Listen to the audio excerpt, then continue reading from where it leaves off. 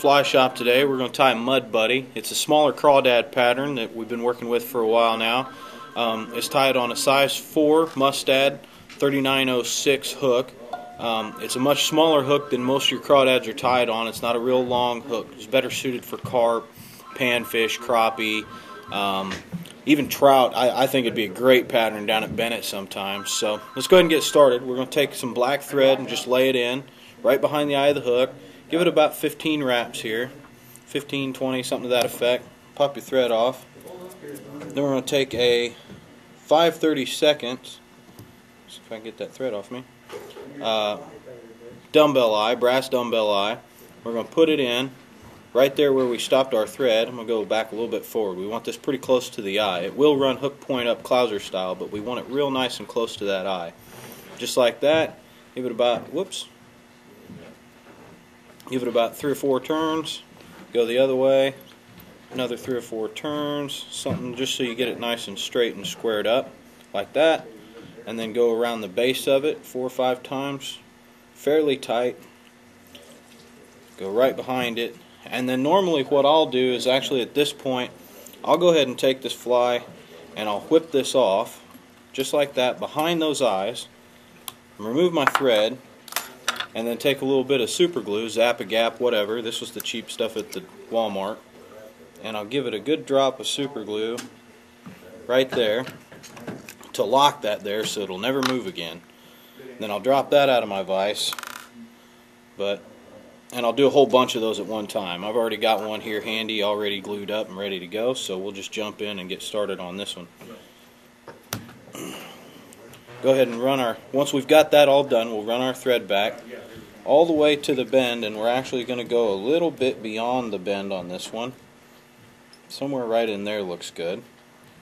We're going to take two strands of some flashabou. this is just kind of a steel gray pearl color I've got. I, you're going to use it for antennas so it doesn't it doesn't really matter what color it is. It can be just plain pearl. We're going to lay the whole strands going back across the hook right on top of the shank they're not cooperating here. Put them right there. We'll lash that down two or three turns. Then we'll take the excess here and we'll actually pull it back again on top of the hook shank and lash it down. Take our scissors and we'll pop them all off somewhere about that long. Nothing real scientific here, just about yay long, about yay much. I don't get too much into the particulars on this kind of stuff. So there's our antennas tied in. We're going to take a little bit of this dubbing. I'm using some Sow Scud. Um, it's a uh, dead orange color. It's real close to the color I normally use for an orange colored crawdad, which seems to be a really, really good color for carp for me. Take a tiny little bit here just a teeny tiny little bit of dubbing. Rub that onto our hook, or onto our thread, and we're going to build a ball for our claws to go around.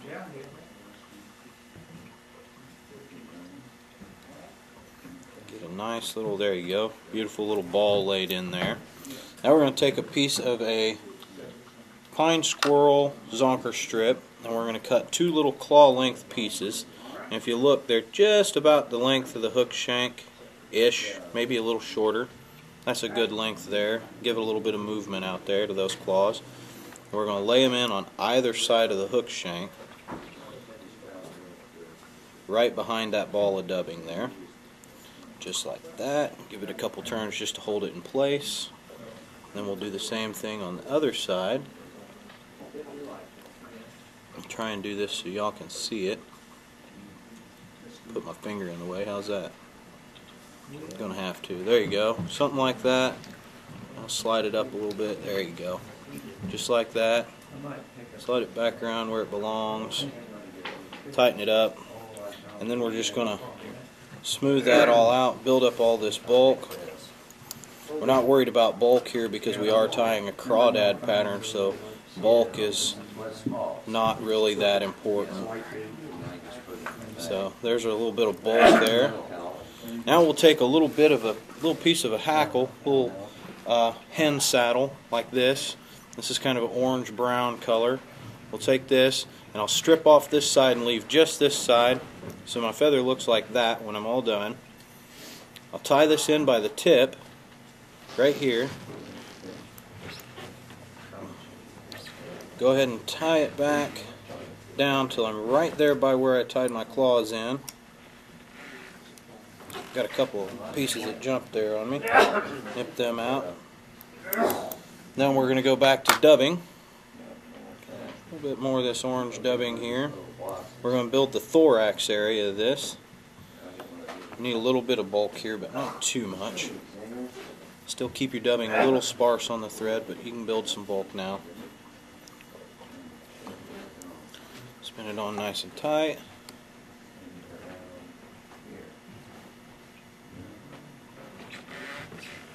Wrap her down there.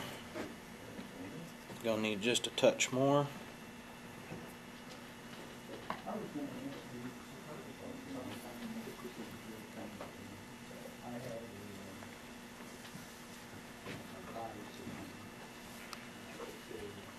There we go. That's starting to look good now.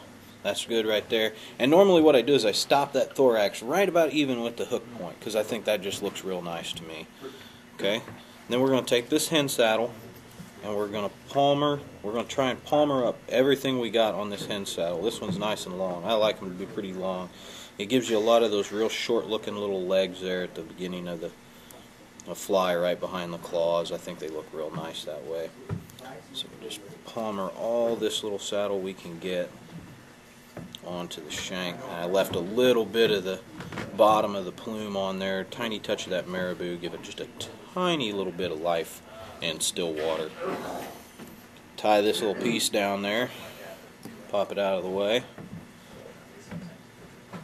Pull these guys forward just a hair, and I wrap up onto them a tiny little bit like that. And go ahead and drop that. Now I'm going to take a little bit of wire. This is some UTC brown small. It's just what I had handy, guys, but y'all can use brassie size, you can use medium, you can use small, you can use copper, you can use black, you can use any color you want. It's not important. The important part is get the wire. So put that in, and we're going to tie that in right up to the point where we stop the thread right here. Again, right even with the point of that hook. And then I run my thread back here out of the way. It makes this part easier because I'm going to start dubbing a whole bunch to build this rear section of the body. Get some dubbing out.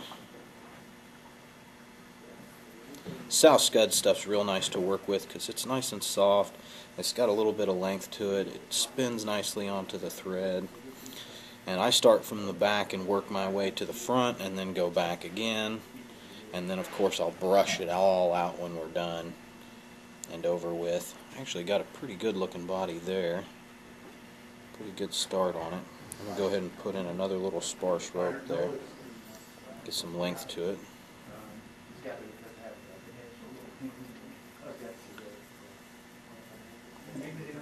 If I get too much, that's okay. I can pull some off.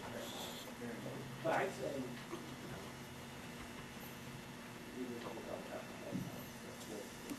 going to pull a little bit of that off. I got to go pretty pretty thin on it right there around those eyes. Because all I want to do is just color them. I don't want to build a bunch of bulk on them. So like you say, see how thin that is, and I'll just go around the eyes once like that, and go around them like that, and then I flip it over and look at it. Looks good, so I'll just go right there. Okay, now Here's where it gets real easy or complicated, depending on what you want. This is a piece of leather or chamois strip or whatever you want to use, ultra suede, all that stuff. This is what I got. I cut it to a point. I pierce it onto the hook right about and get it laid here. I'm going to pierce it right about there onto the hook. First I'm going to push this all these saddle feather, these fibers from this feather here to one side or the other, depending on what side they kind of decide they want to go to. I'm going to go ahead and poke that onto the hook. Then I'll take this out of the vise for just a split second, poke it all the way around, put it right back into the vise. I'm going to take this, and again, I got to figure out where those little feather fibers want to go, all that hackle that we put in there. Then I'll pull a little bit of tension on this, and I kind of roll it towards my thread so it doesn't bunch up, and then I bring it down tight, right there at the eye of the hook.